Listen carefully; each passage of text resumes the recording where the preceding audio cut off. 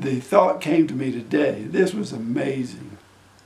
I have I have problems following other people's guidance. I know that. I am a good teacher. I am a bad student and that's just the way it is. The thought occurred to me this morning about 5:30 as I was starting my day. I said, "Davis, why don't you give yourself ukulele lessons? Why don't you act as if you were the teacher and you're the student?"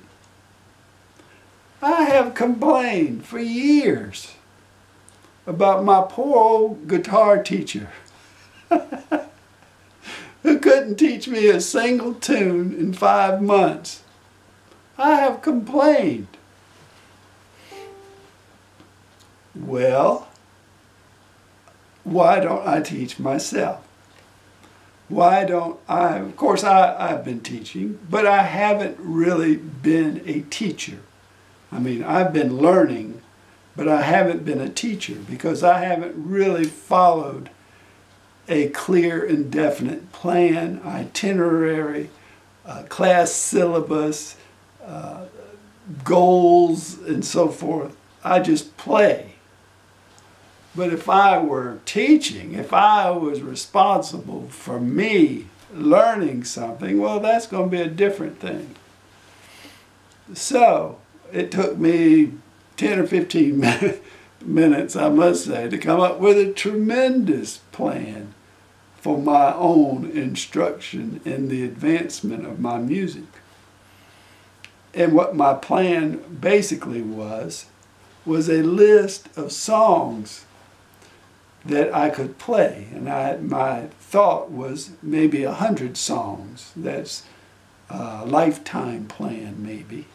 But I can play a lot of songs now. I just need to work on each one of them. But if I had a list of songs to play, and you would start out if you were a, a new player, or if you didn't have too many songs to begin with, you might start out with one or two or three. But I have 25 at least really good songs. Half of those or, or more are original songs that I've written. But I just haven't given each one enough playing time.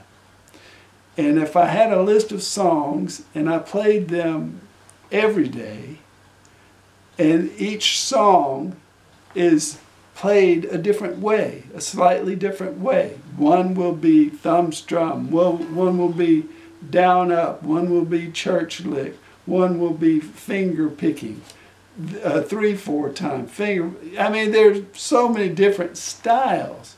But if you learn the songs and you had these different styles in there, and then occasionally would add other little techniques to make your music better. Wow, Davis, that sounds like a great idea. So the teacher's excited because the teacher has a tremendous plan. The student's excited because this is exactly what he wants to learn and wow, it's 5.30 in the morning and I'm ready to go. And so that, that's very exciting to me and I'm planning on using that same idea in several other areas of my life, including about five other musical instruments I'm working on.